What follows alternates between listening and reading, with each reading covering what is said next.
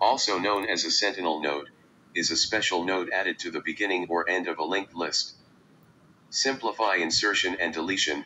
When adding or removing nodes from a linked list, the code needs to handle the special case of adding or removing the first node. By adding a dummy node at the beginning or end of the linked list, we can avoid these special cases and simplify the code for insertion and deletion. Avoid null pointer exceptions.